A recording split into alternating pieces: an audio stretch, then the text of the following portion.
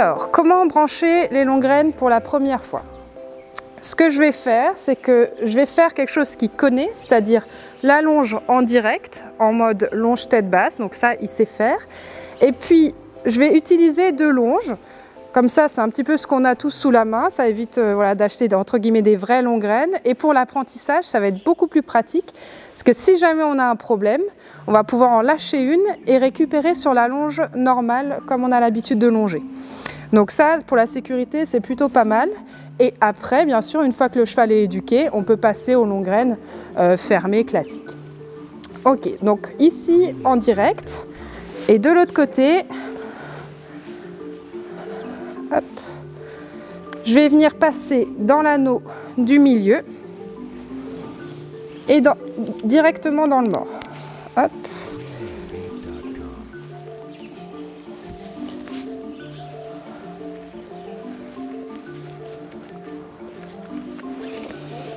Donc l'anneau le plus en bas, ça va être plus simple car on va faire passer la longue graine comme la bande derrière les fesses au départ.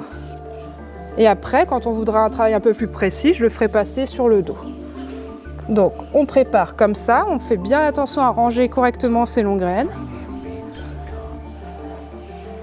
Voilà, et là gentiment, je vais laisser tomber ma longue graine par terre et venir la faire passer derrière les fesses. Voilà, je vais libérer la queue parce que parfois il s'effraye avec la queue. Et je vais exprès laisser mes longues graines par terre, mélange par terre. Voilà. Donc je fais attention à bien garder ma longe droite, ma longe extérieure, au-dessus du jarret.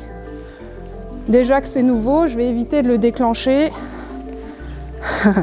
je vais éviter de le déclencher et provoquer des choses pas nécessaires. Ok Donc je lui indique la direction de la mise en avant. Voilà, donc j'observe. Donc là, on voit qu'il a les oreilles derrière. Voilà, il a envie de prendre le trot, c'est pas grave. Je vais le laisser au trot, mais je vais venir travailler sur ma longe intérieure, comme une longe normale. oui. oui. Donc ma longue graine à droite, on voit que ça le titille un petit peu avec sa queue. Mais je l'oublie. Pour l'instant, je fais aucune action. Elle est juste là, posée. Ouais. il respire beaucoup. Il souffle. Moi, je m'occupe de travailler. Voilà, good boy. Juste pour qu'il vienne se relâcher dans son attitude. Et vraiment, la longue graine, on s'en occupe pas pour l'instant. Ok. Hop, et on repart. Voilà.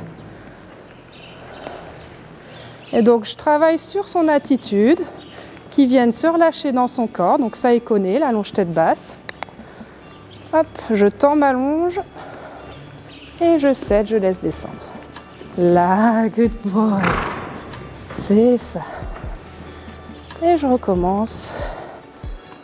Voilà. Et gentiment, progressivement, je vais venir commencer à mettre un tout petit peu de contact sur ma reine droite quand j'ai envie qu'ils viennent descendre. Donc on va voir, souvent quand on tend la reine extérieure, on commence à avoir une petite réaction parce que du coup, la reine extérieure, elle touche un peu plus le flanc derrière, là on voit, voilà.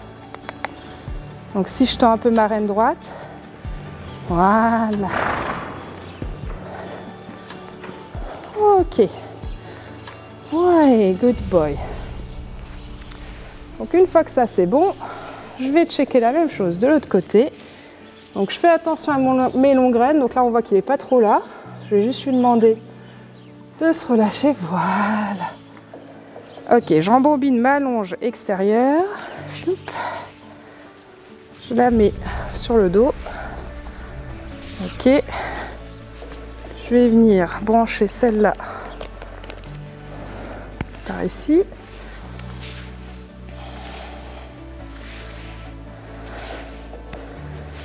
Donc toujours quand on fait ça, restez à peu près au niveau de la tête, ici. Comme ça, s'il y a un souci, on peut récupérer directement. Donc toujours faire la même chose, le même process des deux côtés. Donc lui c'est sa première fois, donc on, on va répéter tranquillement. Droite-gauche, c'est jamais pareil. Voilà.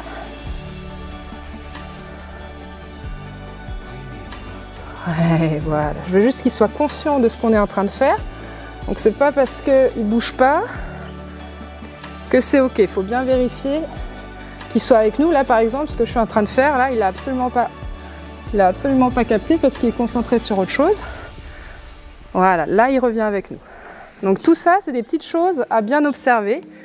Et que si on rate ça, on a l'impression qu'on a fait quelque chose. Voilà. En fait, c'est comme si on n'avait rien fait. Donc, direction vers l'avant. Voilà. Et je vais venir travailler avec ma reine intérieure. Voilà, le passage à droite.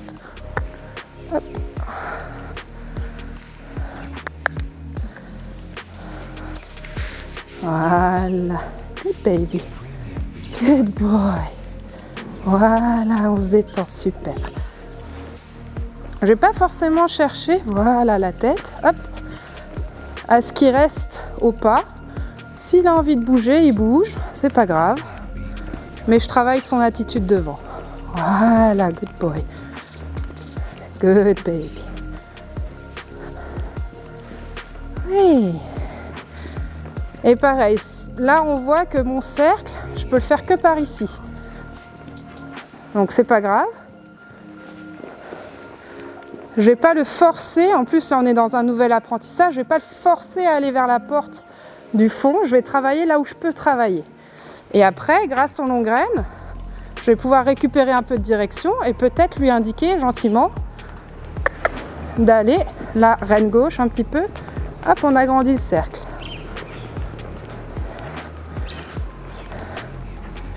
Voilà. Ouais, voilà. Voilà. Un peu reine gauche, j'essaye d'aller un peu plus vers là-bas. Je le suis. Et reine droite. Voilà. Je lui indique avec ma voix d'aller en avant. Oui, c'est bien. Oui, je sais. Là, il me pose la question. Ça fait beaucoup. Est-ce que je peux revenir? Est-ce que je peux revenir me relâcher? Et donc je lui indique juste que je lui ai rien demandé. Donc son job, voilà, c'est de rester sur le cercle. Voilà. Voilà, je lui indique gentiment. Voilà. Donc lui, la moindre action un peu forte, ça va tout de suite être trop. Donc il faut réussir à négocier, mais quand même réussir, voilà, à avoir ce que je veux. Ça, c'est pas mal. Et là, je lui dis, ok, c'est bon. Je regarde un peu les hanches. Good boy. Et je remonte sur mes longes. Et voilà. Très bien. Ok.